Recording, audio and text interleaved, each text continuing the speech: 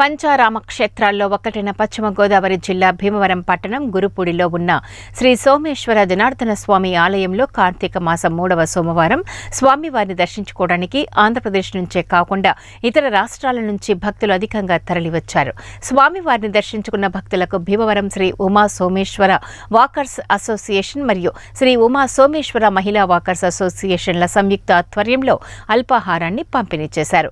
ఈ కార్యక్రమంలో Shri Uma Someswara walkers association అధ్యక్షుడు మెంటే పూర్ణచంద్రరావు అధ్యక్షురాలు శ్రీ ఉమా సోమేశ్వర మహిళా walkers association Madasu Kanakadurga Nallam Raghu Koppineedi Srinivas Gorre Srinivas Mente Lakshmikanthi Pothula Swethasri Bandela Jyothi Sunkara Naresh Mopidevi Satyanarayana Nallam Venkata Narasimharao Karumuri Gopi Purushottapa Arjunarao Satyavedi Prasad G K V V Prasad P Y Murthyraju తదితరులు పాల్గొన్నారు. మన బట్ట వచ్చినప్పుడు ఇడ్లీ పెట్టారు. బాగున్నారు ఉప్మా పెట్టారు. చాలా బాగుంది. ఇరవై వేల మందికి పెడుతున్నారు. వాళ్ళకి ఏ ప్రాబ్లం లేదు. జనం ఇల్లు రావడానికి అందరికీ సౌకర్యం ఎన్ని వేలు బాగుంది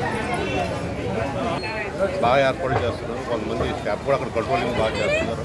ఈ గురుపూడి పంచారామ క్షేత్రం వద్ద శ్రీ గురు ఉమా సోమేశ్వర వాటర్ సొసైటీ ఆధ్వర్యంలో రెండు వేల ఏడులో సంవత్సరం ప్రారంభించి అప్పటి నుంచి కూడా ఎన్నో సేవా కార్యక్రమాలు చేయడం జరుగుతుంది.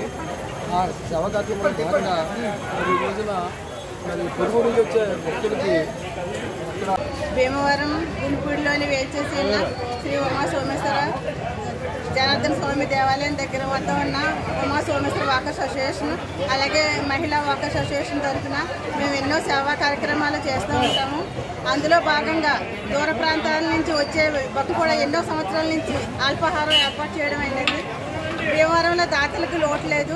ఆ విషయం శ్రీ ఆలయం దగ్గర ఉదయం భోజనాలు అన్నప్రసాదం జరుగుతుంది.